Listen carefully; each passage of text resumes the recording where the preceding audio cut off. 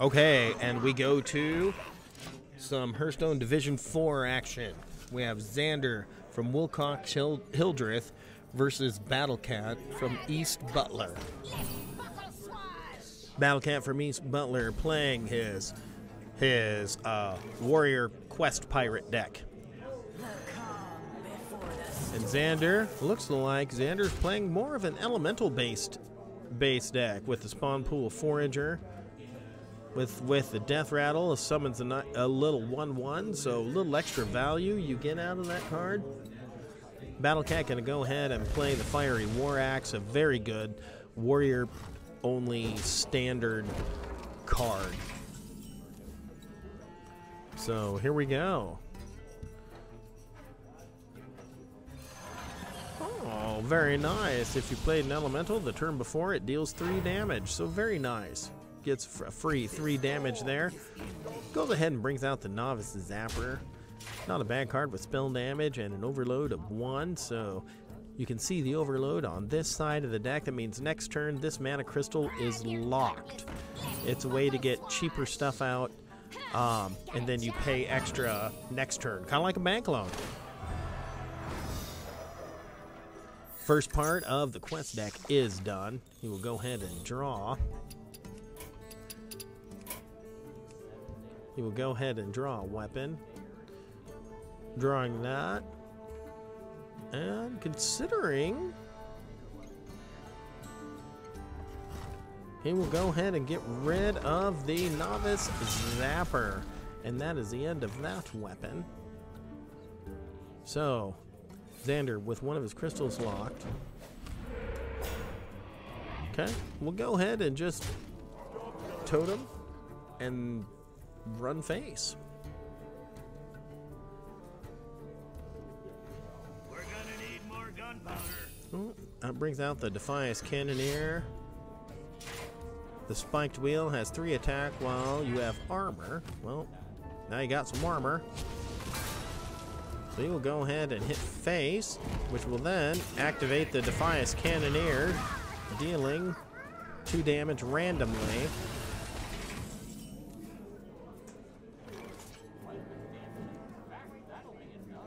And so, Elements I like. bring out the Adrenali Totem Totem Carver. It does get a bonus for each friendly totem. There are no totems. However, it's not a bad card on its own by itself anyway. A 4-5 for 4 mana. Hmm. Well, playing another pirate. That's 2 out of 2. He will go ahead and deal 2 damage to a random enemy twice. There's one. And two. All of these are a roll of the dice. Oh, stuff. Oh, drawing more pirates with the harbor scamps. And the athletic studies going going fishing. Gonna go ahead and see. Pulls that card.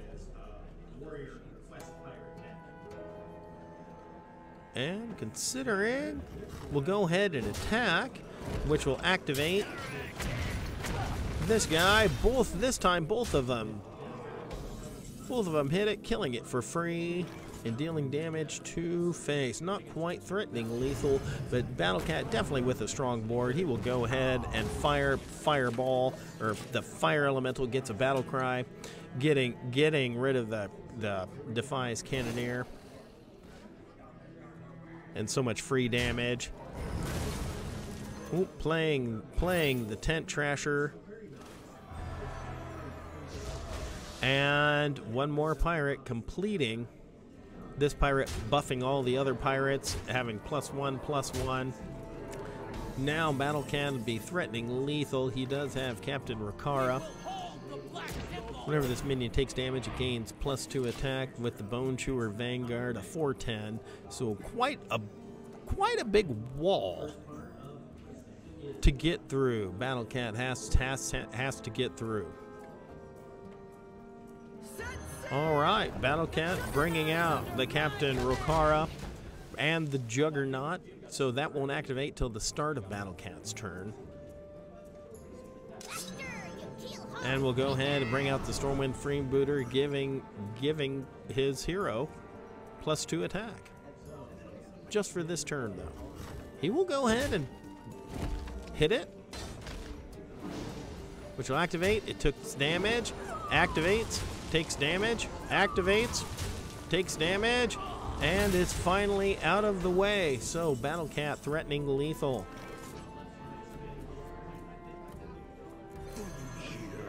The Death's Head Cultist bringing out a 2 4 taunt and the Doomhammer. We'll go ahead and hit face two times.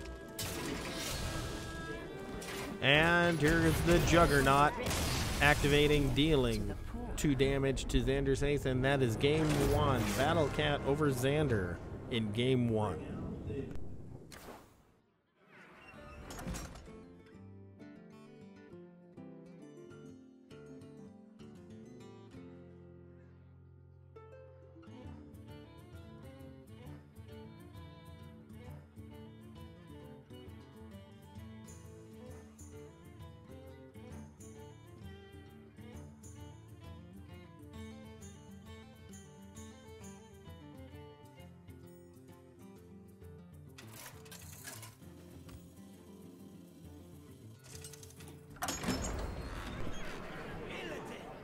All right, here we are in game number two. Battlecat retiring his Quest Warrior deck. And Zander also choosing to, just one moment, choosing a new deck. Zander choosing Demon Hunter.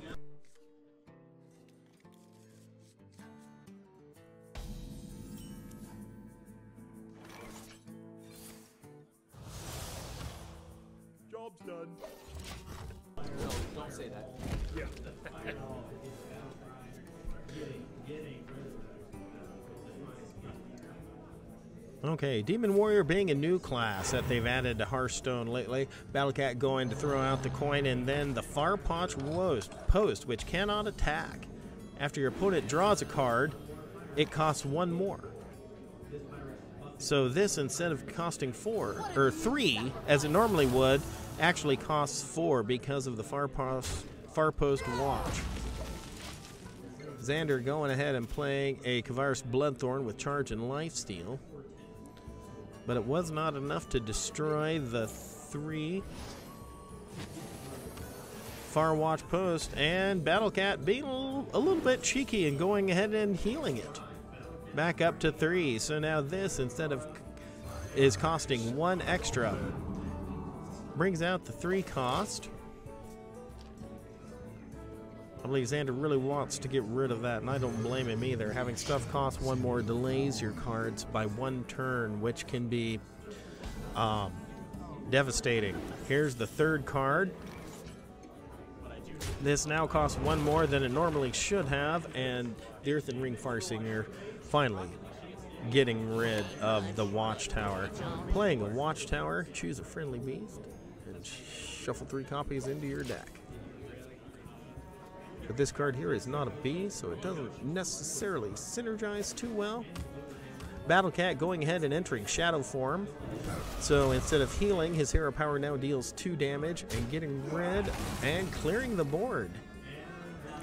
And with the Shadowed Spirit, when it dies, it deals 3 damage to the enemy hero.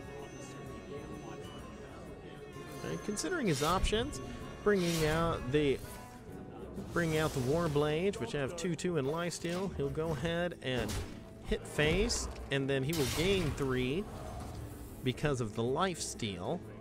You heal for damage dealt, is what lifesteal does. He's going to go ahead and raise dead, dealing 3 damage, playing Flash Heal to restore 5 health, and bring out another Far Watch post. I'm sure Zander is thrilled to see that. And he has corrupted the Insight. Plays a corrupted Insight. And which made the Twilight Deceptor free. So another free 2-3 card.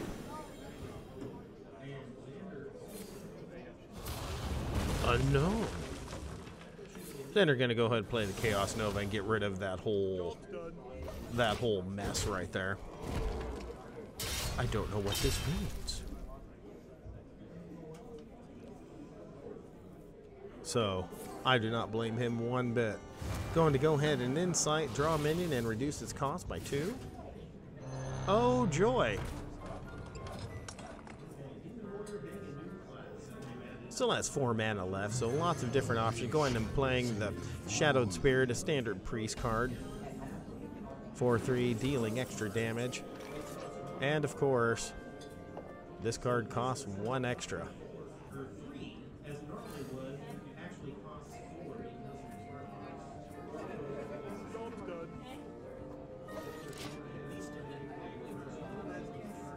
Okay, Zander passes the turn with four extra mana left.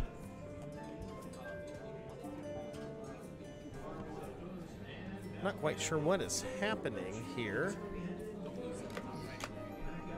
Um,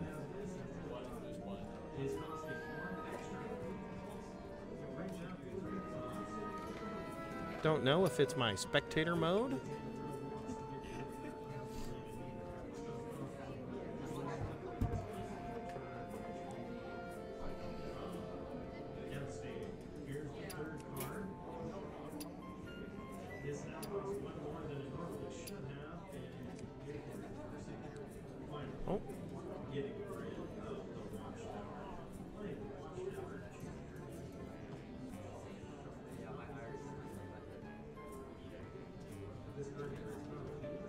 Not quite sure what is happening. Let me double check.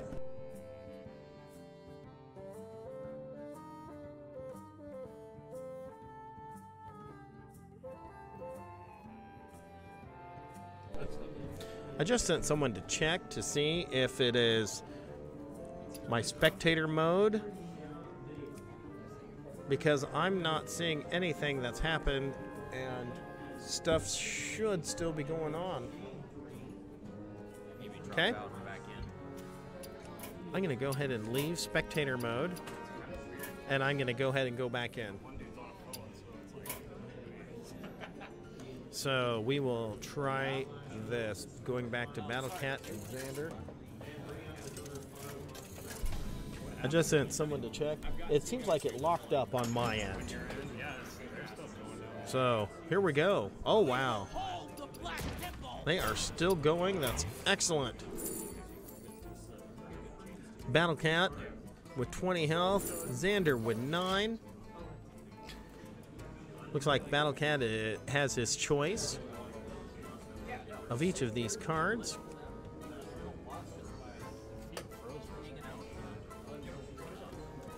He does have out the Bonechewer Vanguard, which is a 410 taunt. Whenever it takes damage, it gains it gains attack. So they'll be streaming two different games. We're gonna have two games going at the same time.